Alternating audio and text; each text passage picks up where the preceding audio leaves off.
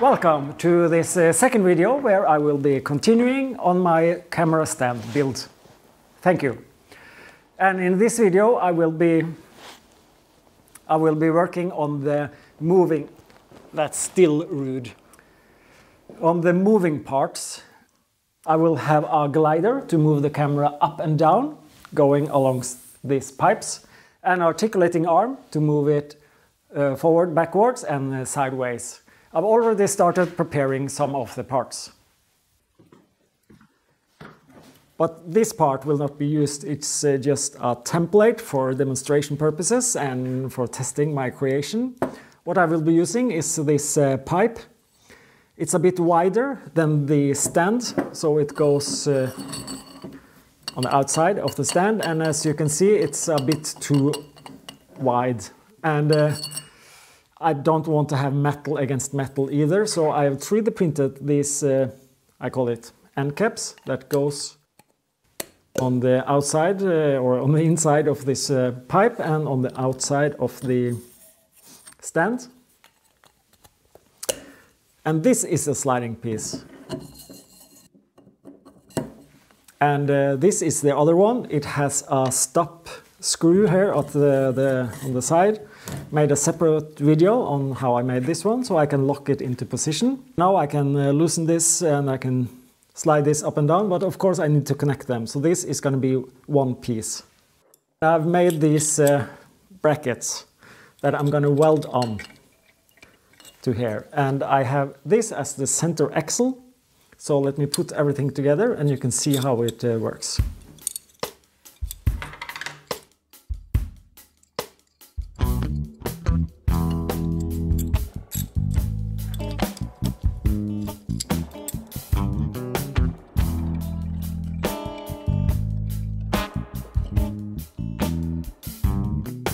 If it's gonna work, who knows, because um, yeah, this is more like a prototype.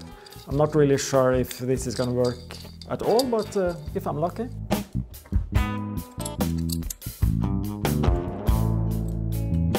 On a real professional stance, this uh, would have been some kind of uh, ball bearing stuff with uh, precision and smooth uh, movement, but I think uh, this might do it for me. Let's see.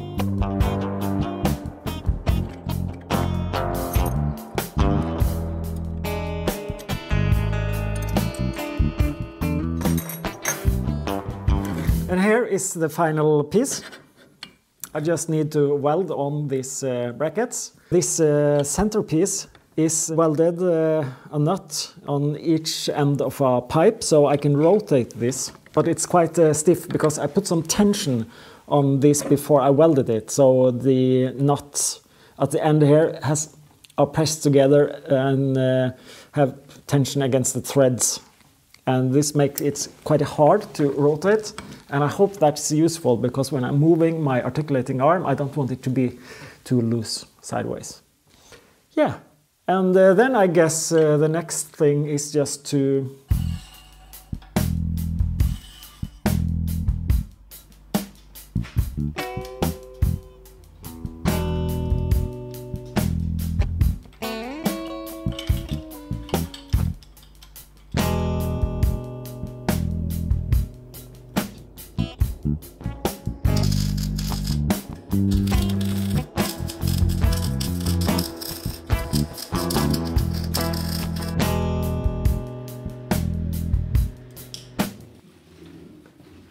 Okay, the weld is done. So uh, now is the exciting first test. Of course, when I'm welding this, these uh, 3D printed uh, end caps probably melted. Um, yeah, so maybe everything is stuck now. So I would probably have to 3D print the new ones. Yeah, this should now be locked. I use this one just to get it, uh, hopefully, 90 degree angle. Okay, it's still hot. Ooh, ooh, ooh, it works, it works. Wow. I'm also a bit concerned if, if this will be um, stable enough so it's not wiggling. And it seems very nice. and I can just lock it a couple of times with this. Ooh, uh, yeah, so far so good. Of course, I need. I will put on some more uh, welds here. These these are the first one. I didn't dare to put on anymore because this will probably totally melt. But uh, seems like they survived. So uh, a bit more welding.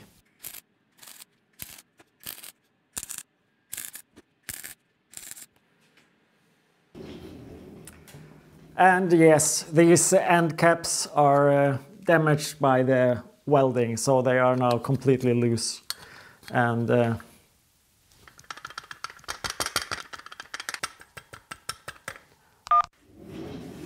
and uh, yeah, these end caps were uh, damaged by the welding, so now they are way too loose. Yeah, so I decided to make a new one, a slightly improved uh, design. They fit on like uh, this.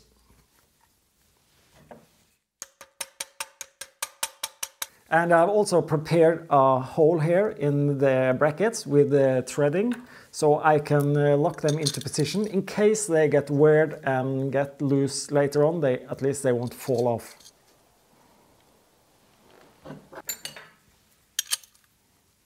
So this is an uh, improved design. I think this will work better. The next job is then to create the articulating arm. I have one here, just to show you. It's gonna work like this.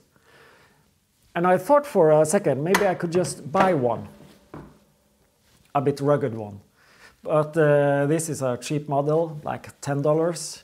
And even though I'm tightening all the positions here, it's quite uh, loose. And I think if I'm going to buy something that is rigid uh, and sturdy and keeps uh, a heavy camera, probably expensive. So of course I'm going to build it myself. But I've used this, this one as a template. So I will be using these uh, aluminum pipes. They are 2 by 2 centimeters, uh, doubled the size compared to uh, this cheap one.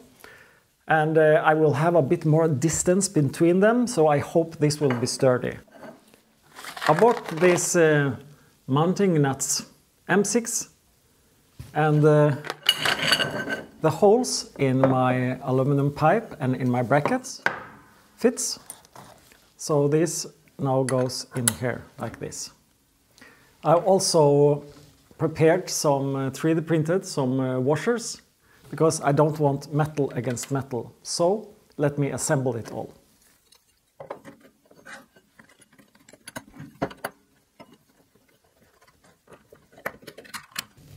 I have, uh, by the way, made a lot of these from a M6 uh, steel rod, cut them into suitable uh, length.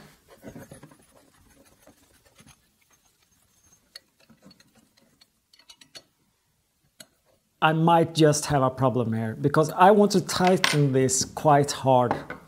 So this is rigid. I don't want this loose. And I don't know how much this aluminum pipe can handle. If I tighten this too much, I'm afraid I will just squeeze it all together. And thanks to Peter Pensa for um, making me aware of this from a comment in my previous video. So, the idea is to put an end cap in here. So it uh, avoids this to be squeezed together. And I've 3D printed some parts here. I'm not sure how strong they are. They fit quite rigid. I pretty much solid infill. That means they are massive uh, plastic.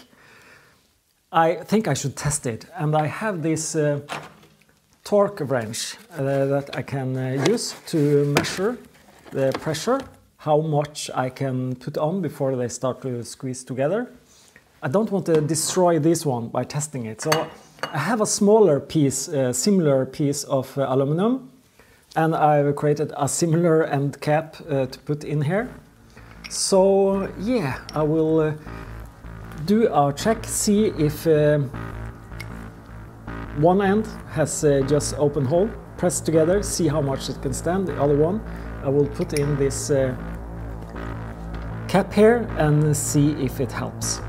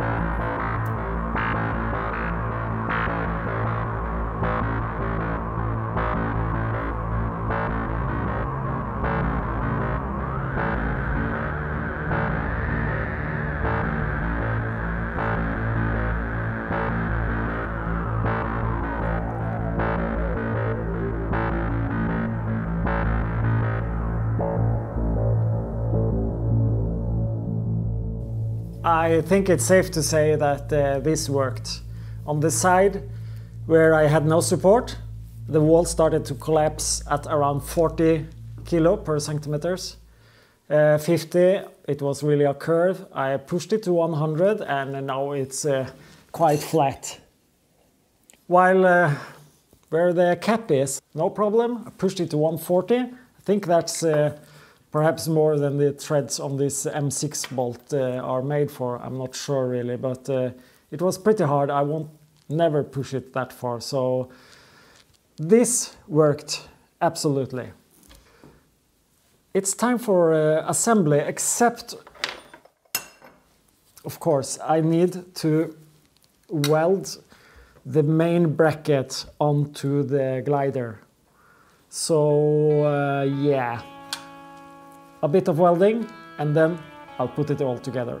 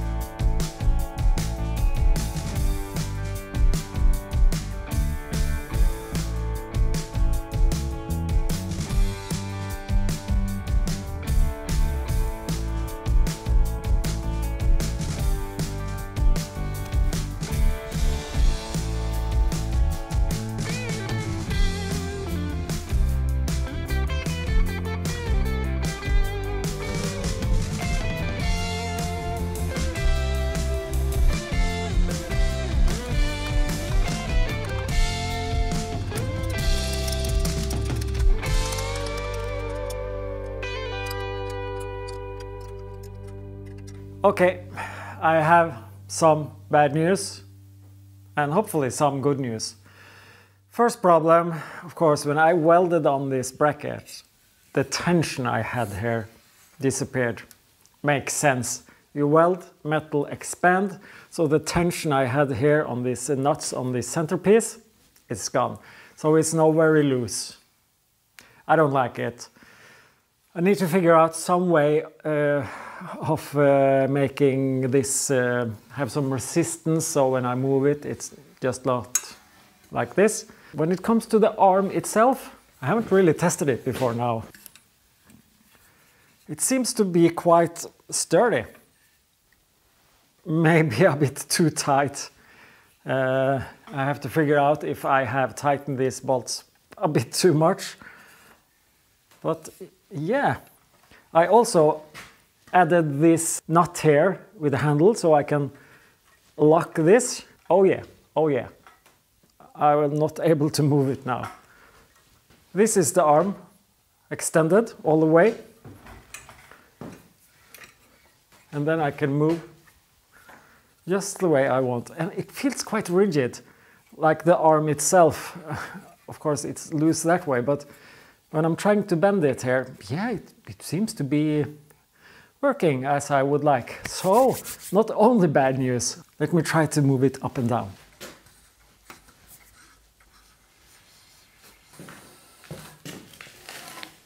This works uh, just fine, just as I want it. And this one goes all the way to the floor if I want to shoot very low. Perfect. Let me put on my camera. I've uh, made a bracket made out of steel. It's a bit heavy, should have been aluminum, make it lighter. I'll probably switch it out later, so this is just the first uh, test. So this goes on here, pretty simple, just two bolts. And I thought it was best to have this uh, modular, so I can uh, put on whatever I want here. And I use this uh, ball mount here to put the camera on. Yeah, that works great. So uh, that's pretty much it. Let me try to put the camera up under the ceiling, see how easy it is to move it now.